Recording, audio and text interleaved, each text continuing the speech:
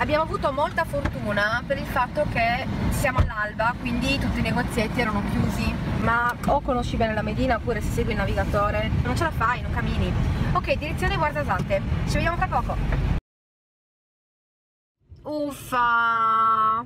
Siamo fermi in un'area di servizio. Uffa! Il eh, Col du è... È chiuso for snow, snow, snow. La snow è la neve. Eh, l'ho capito che era neve. Ci siamo svegliati alle 4 del mattino, ci siamo districati nelle viuzze della, della Medina con l'auto. Per riuscire a giocare bene col tempo, perché il problema non è tanto che il colle, cioè il varco è chiuso, perché sappiamo che riapre, perché attorno a noi è pieno, È di pieno di macchine che stanno attendendo, quindi Mm. persone che sono qua sanno che riaprono Sì. il varco. Il problema E quando? Allora, in questo momento sono le 6.20 del mattino e eh, abbiamo un tempo massimo di arrivo a Merzugà per le ore 16, quindi 9 ore... Ma quanto sonone che abbiamo! 9 ore e 40 minuti, con una strada davanti che eh, impegnerà almeno 7 ore e mezza, quindi il piano B che eh, però non vogliamo prendere in considerazione è Ma quello c'è. ma non vogliamo prendere in considerazione è quello di fermarci a eh, Ouarzazate Esatto, che dormiamo proprio a Guardasate, quindi Eh. troviamo lì un... anche perché abbiamo mollato la camera a Marrakesh questa è un'altra cosa quindi noi questa sera non sappiamo dove dormire chiederemo al primo Io adoro queste- incappucciato che Io passa queste avventure le, le adoro. Io penso che una delle cose più belle dei viaggi on the road siano proprio queste.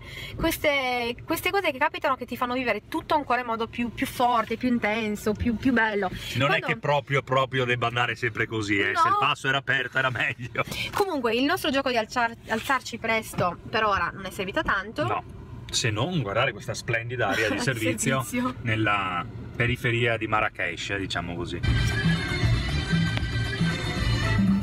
L'abbiamo finita così. e le ore passano. Continua la nostra odissea. Siamo ancora in macchina. Ci sono ormai 10.000 persone che aspettano di poter passare. L'orario si sta facendo tardo, quindi stiamo ipotizzando più il piano B. Ha fatto una neve incredibile, abbondante, da qua riesco a vedere il monte in fondo ed è completamente innevato. Allora, piccolo cambio di programma.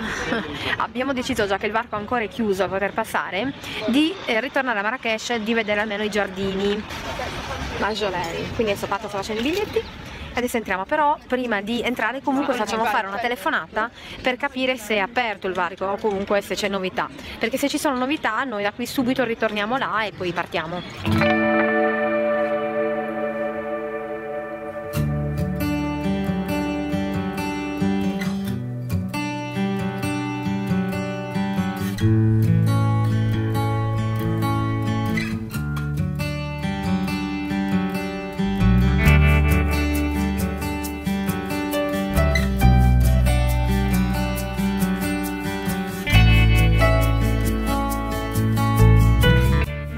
Bello questo giardino? Sì, è spettacolare e veramente non potevamo trovare alternativa Che migliore. per attendere. è stato acquistato da Yves Saint Laurent.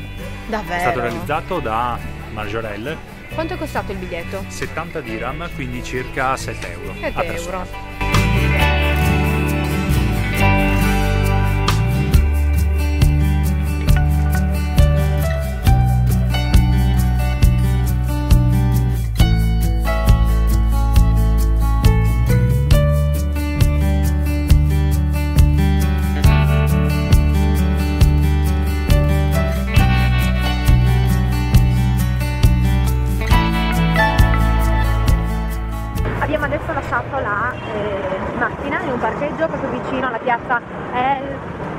E. Io non riesco mai a dirli questi nomi. Amore mio, perché tu non sei marocchino. Crusca, ok.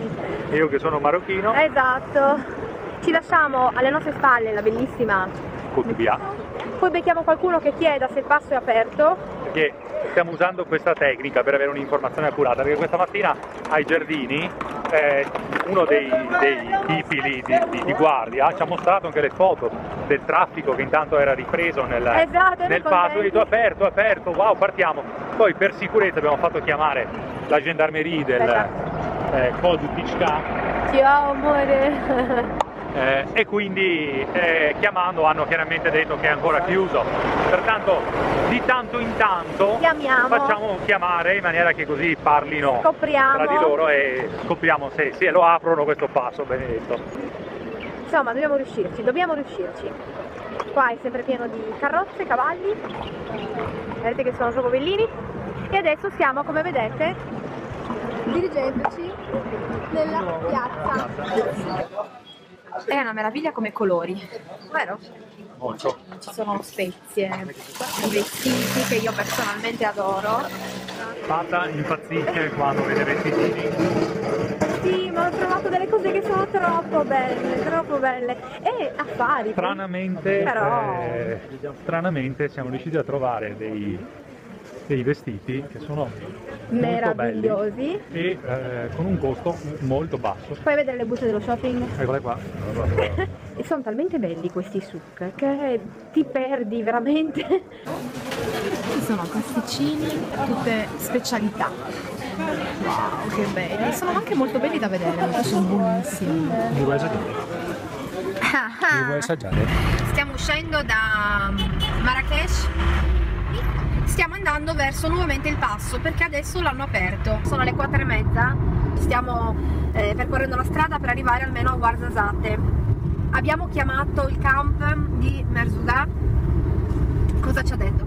Che anche se volessimo farlo, anche qualora arrivassimo intorno alle 11 mezzanotte, ci sarebbe qualcuno che ci viene a prendere. No- non sappiamo se la, la nostra pazzia ci porterebbe a farlo, significa che avremo davanti 8 ore di strada pieno nulla. Eh, il problema è realmente la luce notturna perché se ci fosse la luna e il cielo sereno avremo anche illuminazione abbondante per arrivare.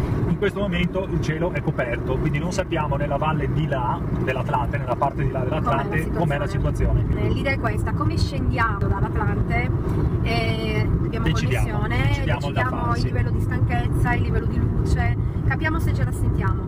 Se vediamo che ce la sentiamo, proseguiamo. Si vede in lontananza la neve, il cielo, da quello che potete notare, non è dei migliori. Guardate la neve, quanta, anzi siamo ancora nella parte bassa. Wow, guardate i camion, quelli fanno in altezza. Sì.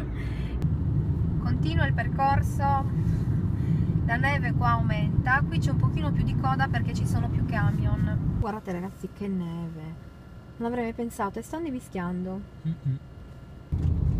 La neve aumenta, siamo sempre nella parte più alta, qui ci sono gli spalaneve, penso che siamo ormai vicini al passo perché o dietro questa montagna ce n'è una ancora più alta, oppure eh, forse il passo è a 7000 metri. No, il passo è a 2260 metri, ma per arrivare bisogna fare 500 milioni di chilometri in montagna. Allora, il passo l'abbiamo superato. Sì, anche con 30 minuti di anticipo rispetto alle previsioni, cui ci fa parzialmente gioire. Come siamo usciti dalla parte più alta, qui c'è un sole che spacca le pietre. Questo è molto buono perché Guardate, guardate, si può, si Andiamo può far vedere lì in alto, le nuvole si sono incastrate lì sull'Atlante, mentre se guardiamo qua, adesso siamo vabbè dietro la montagna, ma il cielo è azzurro. 14 ore che siamo svegli, certo che non ci auguravamo di trovare la neve, No. il passo chiuso, eccetera, No. ma l'idea di poter raggiungere questo campo nel deserto, anche se in piena notte, ma l'idea di riuscire, nonostante le avversità, ad arrivare è, è- Si è chiama que- sfida. È la sfida, è quello che ci anima, è quello che ci mette in gioco.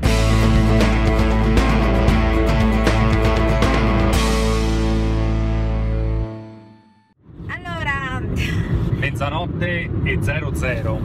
siamo arrivati a destinazione, c'era Omar che ci aspettava, infatti guardate vi faccio vedere, stiamo seguendolo perché ci sta portando al Riyadh di appoggio per poi andare dritti al campo delle tende in pieno deserto!